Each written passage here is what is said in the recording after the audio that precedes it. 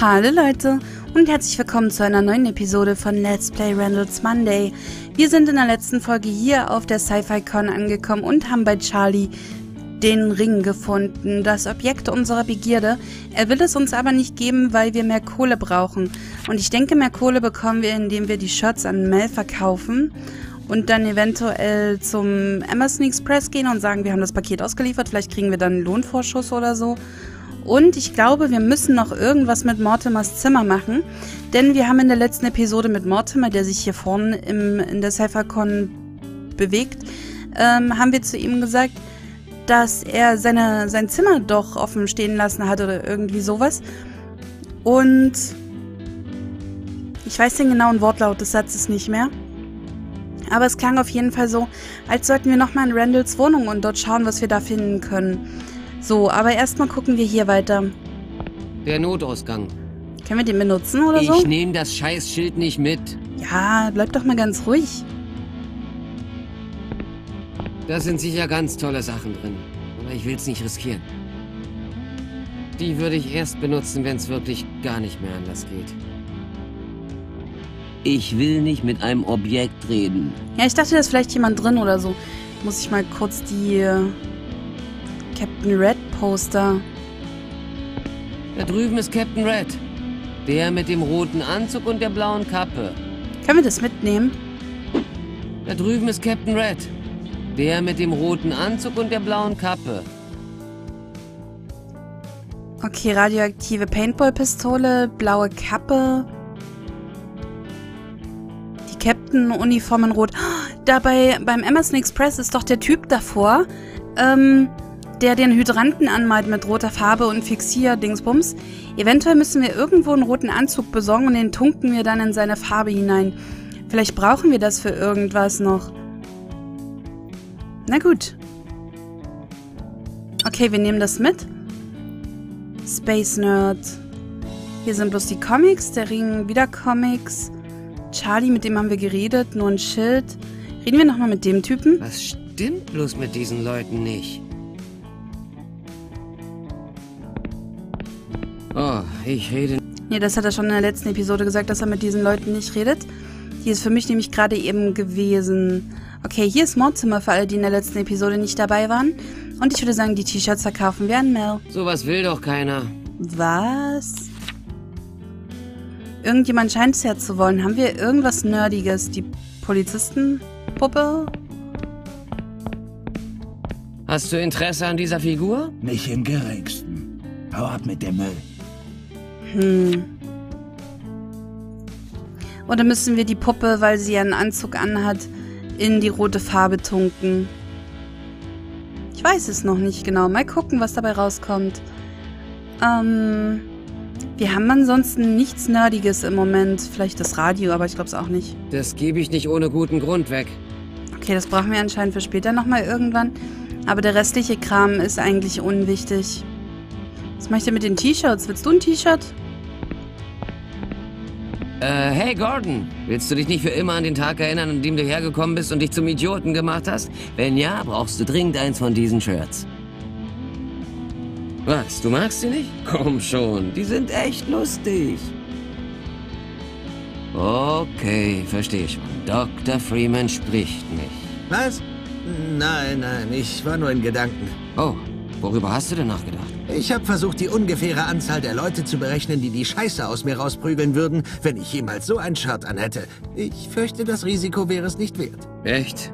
Du gehst doch mit diesem Kostüm schon ein hohes Grundrisiko ein. Ja, so ist das halt. Aber mit dem Shirt benutzen sie dann vielleicht auch Messer. Das Risiko gehe ich nicht ein. Hm, macht Sinn. Können wir die generell verteilen? Sowas will doch keiner. Wahrscheinlich echt nur an die Leute, die sich hier mit den Kostümen rum, rumplagen, hätte ich beinahe gesagt. Du? Hey, wenn das nicht der letzte Sohn Kryptons ist. Der einzig wahre. Hier, ein Gratis-Shirt für dich, Kryptonia. Nicht so eilig, Freund. Was steht denn drauf? Da steht drauf, ich war auf der Sci-Fi-Con und bin nicht mal Jungfrau. Ast rein. Damit werden die Leute endlich nicht mehr denken, dass ich nur ein dummer Nerd bin. Das kannst du nicht sagen, während du dieses Kostüm trägst, Alter. Das geht einfach nicht. Keine Sorge. Das ziehe ich zu dem Swamp Thing Kostüm an. Großartige Idee. Das ändert alles. Hier ist dein Shirt. Metropolis Kid dankt dir, mein Freund. Was kann ich als Gegenleistung für dich tun? Naja, ich habe ein wenig Angst vor dem, was du tun könntest, ehrlich gesagt. Keine Sorge, Mann. Willst du vielleicht ein schönes Paar Nunchakus? Ähm, seit wann benutzt der Mann aus Stahl der Nunchakus? Willst du sie oder nicht? Ja, ich will sie. Na dann, hier, bitte. Oh, aber das ist doch nur eine scheiß Angel. So sehen halt die Nunchakus auf Krypton aus, okay? Naja, wie auch immer, Kumpel. Danke und jetzt hau ab. Wir haben eine Angel bekommen. Ich glaube immer noch nicht, dass das Nunchakus sind.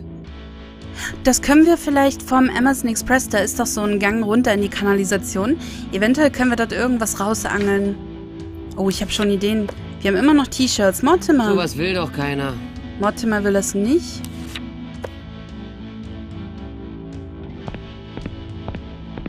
Hey, Alter, willst du ein Convention-Shirt? Sind doch gratis. Ich will ja dein Ego nicht zerschmettern, aber das ist nicht das erste Mal, dass mir heute ein Shirt angeboten wird. Hm, okay. Du willst also keins. Das steht drauf, ich war auf der... Hör zu, mein Freund. Such in deinem Paket nach meinem Shirt. Es ist das, auf dem böser schwarzer Mann steht. Was? Sag noch einmal was. Sag noch einmal was. Ich warne dich. Ich warne dich doppelt, du kleiner Schwanzlutscher. Alter, ich, ich, ich so ein Shirt habe ich nicht. Es, es tut mir leid. Ja, wir sehen uns dann, Alter. Ich esse keine dreckigen Viecher. Ja, schon klar. Eine der berühmtesten Szenen aus Pulp Fiction war das gerade. Wow. Du hast Stil, mein Freund. Würdest du gern noch mehr davon haben? Es fällt mir schwer, das zu glauben.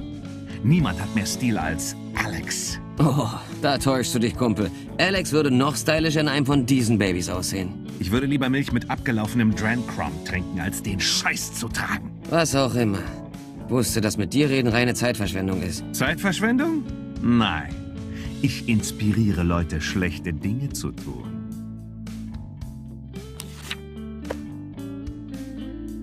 Wie geht's, Travis? Willst du eins von diesen coolen T-Shirts? Wer ist Travis? Wer ist Travis? Hm, Lass mich raten. Das ist ein Taxi-Driver-Kostüm, oder? Natürlich. Ich habe niemals den Film gesehen, aber das Outfit gefällt mir. Mit dir werde ich nie wieder reden. Und ein Shirt kriegst du jetzt auch nicht. Aber ich... Du bist Abschaum. Auf Nimmerwiedersehen. Okay, ich probiere es hier hinten nochmal. Eventuell können wir Charlie und dem ähm, Darth Vader-Typen nochmal ein Shirt schenken. Denn wenn der uns eine Angel geschenkt hat und wir haben ja noch Shirts, dann kriegen wir vielleicht noch mehr Zeug. Lord Vader. Commander. Das Shirt des Imperators, welches er anlässlich des Geburtstags seiner Katze geordert hat, ist angekommen. Exzellent. Nun kann ihn nichts mehr aufhalten. Beeindruckend. Sehr beeindruckend. Die gesamte Galaxie wird vor uns auf die Knie sinken. Ja, Alter, genug von dem Weltraumscheiß. Sie haben mich zum letzten Mal enttäuscht, Admiral. Vorher hast du mich noch Commander genannt. Wurde ich zwischendurch befördert? Ähm, Und übrigens, wenn dieses Track Wars Ding echt ist, dann sollte es dich gar nicht geben, oder? ähm... Enttäuschen Sie mich nicht noch einmal, Commander. Oh nein, nein, nein, jetzt keinen Rückzieher machen und erst recht kein Themawechsel. Also, wenn du aufhörst, Fragen zu stellen, bekommst du Süßigkeiten. Süßigkeiten von einem Fremden? Hm, das habe ich nicht mehr gemacht, seit ich klein war, aber okay. Ich tue alles, um diesen Widerspruch in der Story hinter mich zu bringen. Schließ dich mir an und wir werden die Galaxie beherrschen als Vater und Sohn. Heute passt mir das so gar nicht, aber vielleicht können wir ein andermal als Vater und Sohn herrschen. Wie gefallen eigentlich Anakin diese tollen Shirts? Dieser Name hat keine Bedeutung mehr für mich. Verstehe. Und dem Kostüm nach zu urteilen, wirst du dem Spruch auf dem Shirt wohl nicht gerecht. Aber hey, hör nicht auf, nach den Sternen zu greifen, okay? Wenn du es unbedingt wissen willst, ich hab ne Freundin. Cyberfreundin? Gibt's noch andere? Naja, in dem Fall gebe ich dir drei. Eins für dich, eins für deine Cyberfreundin und noch eins für deine Roboterfreundin. Davon hast du ja sicher auch eine, hm? Touché. Dachte ich mir. Oh Gott. Hey, mal nicht so wertend. Ich studiere technische Informatik und mein Vater ist Mechaniker. Was soll ich den Sommer über denn sonst machen? Schon okay, Mann. Ich urteile nicht. Hier sind deine Shirts. Hat er jetzt alle Shirts? Nee, wir haben immer noch welche, aber was hat er hier? Eukalyptusbonbon. Das müssen wir bestimmt mit einem Koala anwenden. Sowas will doch keiner. Wir haben aber immer noch T-Shirts. Können wir das? Ah ja? Die nehme ich nicht mit. Könnte gefährlich sein. Was sind das für riesige Eier? That's what she said. Okay. Habe ich allen jetzt so ein Shirt angeboten? Da hat er gesagt, das will doch keiner. Ich glaube schon. Wir haben immer noch welche. Nicht, dass ich irgendjemanden vergessen habe. Ich gucke nochmal schnell hinten. Bei Charlie wollte er nicht. Oder? Sowas will doch keiner. Genau. Bei dem hier? Das ist mehr als genug. Okay.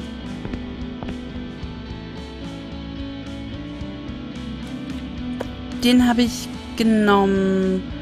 Bei dem auch, bei dem auch. Gordon Freeman auch. Hier hat er gesagt, Sowas das will will- keiner. Genau. Der wollte auch nicht. Sowas will doch keiner. Genau, bei Mortimer wollte er, glaube ich, auch nicht. Ich probiere es trotzdem nochmal. Sowas will doch. Okay. Und der hat, glaube ich, eins genommen, ne? Das ist mehr als genug. Okay. Dann brauchen wir die Shirts wahrscheinlich für irgendwas anderes. Oh, kommen wir nicht hier raus? Huh, Marty, ich brauche deine Hilfe. Klar, Doc, was ist das Doc Problem? Brown. Sekunde mal. Mein Name ist nicht Marty. Wer zur Hölle bist du? Die Frage ist nicht, wo sind wir, sondern wann sind wir? Das war gar nicht die Frage. Ich fragte, wer zur Hölle bist du? Ich kann dir keine Details verraten, Marty. Die Konsequenzen könnten katastrophal sein. Okay, jetzt habe ich echt Schiss. Was geht denn hier vor? Die Libyer sind hinter mir her, Marty. Libysche Terroristen. Libya? Wow. Das ist hart, Doc. Wir haben keine Zeit zu verlieren. Hier, nimm das. Äh, Sekunde mal, Kumpel. Ist das wirklich, was ich denke? Wenn du dachtest Plutonium, dann ja. Alter, spinnst du? Ich hab nur mitgespielt, weil es irgendwie lustig war. Aber das schlepp ich sicher nicht mit mir rum, du Irrer. Du verstehst nicht. Es geht um deine Kinder, Marty. Du musst etwas wegen deiner Kinder unternehmen. Meine Kinder? Okay, ich weiß nicht, ob ich in diesem Paralleluniversum Vater bin oder so, aber das hier fängt an, mir Angst zu machen. Wenn ich deinen scheiß Plutoniumstab mitnehme, lässt du mich dann endlich in Ruhe? Klar. Wir sehen uns dann in 30 Jahren, schätze ich. Hm, nicht, wenn ich's verhindern kann, Doc. Ach, wie cool. Wieder eine Zurück in die Zukunft Anspielung. Okay, ich probiere mal, ob wir das Pfefferminzbonbon... Wenn du das für eine gute Idee hältst, wie wär's mal mit einer Pause vom Spiel? Ey, das ist ein Koala, der steht auf Eukalyptus. Ist das echt ein Plutoniumbrennstab? Ein Plutoniumbrennstab. Haben wir irgendwo einen DeLorean gesehen? Wir hatten einen beim Comicbuchladen. Allerdings war das nur ein Modell, was wir nicht anfingern konnten. Das stand nur im Vordergrund rum. Blödsinn. Ich dachte, das kann man einbauen. Plutonium. Hm. Sowas will doch keiner. Na gut. Vielleicht müssen wir noch irgendwo anders ein T-Shirt verschenken oder sowas. Was machen wir denn zuerst? Wollen wir zuerst mal bei der Kanalisation gucken, ob wir da ähm, wirklich was rausangeln können?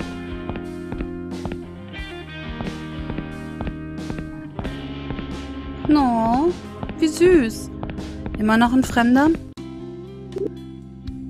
Sci-Fi-Con, Mets Wohnung. Dort sind ja die Polizisten. Dort müssen wir wahrscheinlich nicht hin.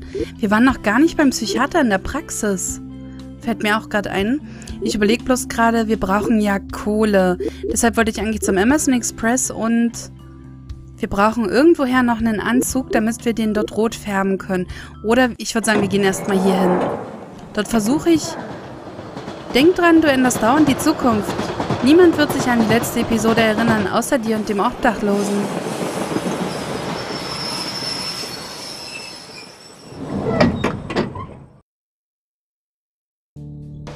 Okay, hier könnte ich probieren, ob ich denn wirklich einen Anzug brauche oder ob ich die Polizistenfigur da reintunken kann. Jetzt trägt er einen schicken roten Anzug. Sehr cool. Jetzt sieht er jetzt zum, so, so, so Finger, äh, Figur mit Umhang, oh Gott, zum Verwechseln dem hier ähnlich. Das wird nicht klappen. Okay, der hat einen roten Anzug. Wir brauchen, der hat auch eine Mütze. Moment.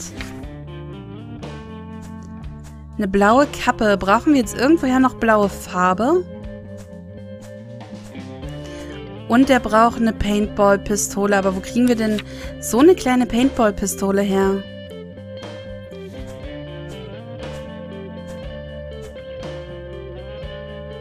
Hm. Also brauchen wir keinen echten Anzug, sondern bauen die Figur nach. Eventuell können wir die Captain Red Figur dann gegen den Ring tauschen und brauchen gar kein Geld. So, dann machen wir mal das nächste. Ich wollte hier angeln. Da drin gibt sicher keinen guten Fang. Aber wir können auch nicht so runtergehen, oder? Äh, nein. Was sehen wir? Wer weiß schon, welche Gefahren unten in den finsteren Abwässerkanälen lauern. Killerkrokodile, mutierte Schildkröten. Tja, wir werden es wohl nie erfahren. Die Ninja Turtles. Hm. Können wir das vielleicht als... Jetzt habe ich einen Köder mit Eukalyptusgeschmack an der Angel. Genau, als Köder und jetzt hier angeln? Da drin gibt sicher keinen guten Fang. Ich bin ja immer noch davon überzeugt, dass wir den Koala irgendwie mit dem Ding hier locken müssen. Hätten wir das macht auch... keinen Sinn. Okay, ich wollte bloß gucken, ob wir die Köder austauschen können. Hm. Das muss ich doch nicht aufgabeln. Der ist leider völlig unbrauchbar. Der hilft mir nicht mehr weiter. Aber der kann nicht völlig unbrauchbar sein, ansonsten hätten wir den nicht mehr im Inventar. Eine kleine Paintball-Pistole. Ich glaube nicht, dass das was bringt. Hm. Wir haben den Lieferschein auch nicht mehr. Wir haben allerdings T-Shirts. Können wir dem Typen hier ein T-Shirt andrehen? Sowas will doch keiner. Oder dir? Sowas will doch keiner. Na gut.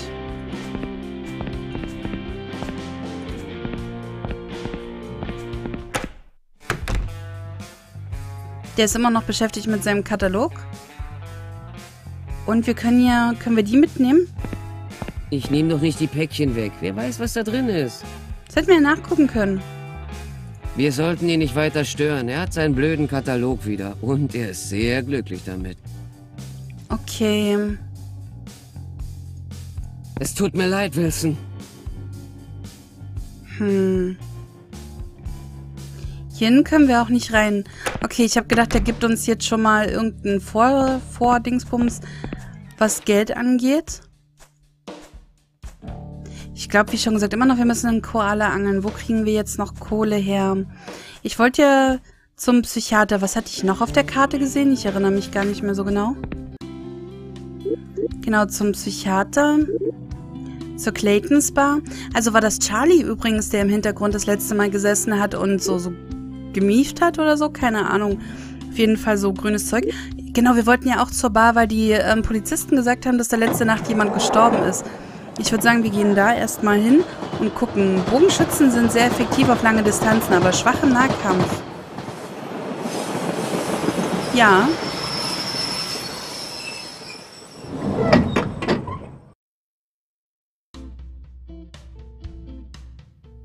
Können wir uns einen Koala angeln? Ich denke nicht, dass das klappt. Na gut. Hier hat sich auch nichts geändert, nur dass die Poster anders sind. Müllcontainer, Bananenschale, die können wir doch bestimmt auch noch für irgendwas verwenden. Fass ich nicht an. Hm.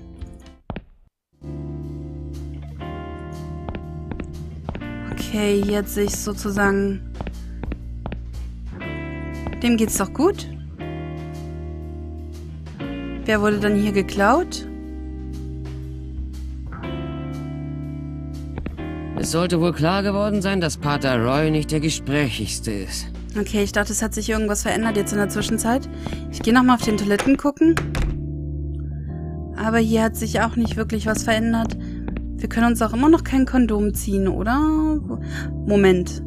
Ich denke nicht, dass das klappt. Ich dachte, man kann ähm, das Bonbon quasi als Münze benutzen, hätte es dann hier reingeworfen, hätte ein Kondom gekriegt und hätte die Münze wieder rausziehen können.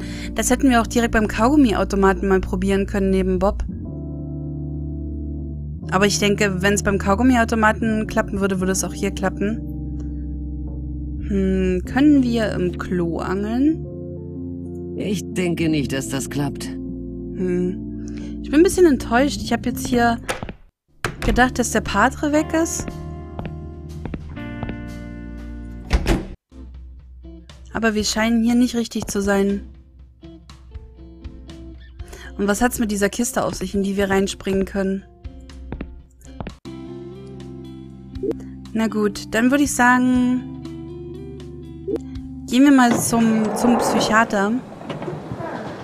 Wenn du jemals festhängst oder eingesperrt wirst, äh, denk dran, es gibt immer einen Ausweg. Der Schlüssel zur Flucht ist immer in deinem Inventar.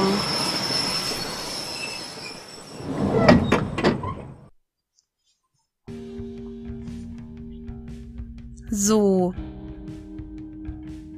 Hier ist ja nichts mehr drin, würde ich sagen. Wie sieht's denn beim Psychiater aus? Können wir da jetzt okay, rein? also. Ich nehme mal Charlies Rat an. Ich brauche die Meinung eines Seelenklempners. Vielleicht kann ich durch den die Situation aus einem anderen Blickwinkel betrachten. Oder er kann mir sogar beweisen, dass nichts hiervon echt ist und dass das alles nur in meinem Kopf passiert.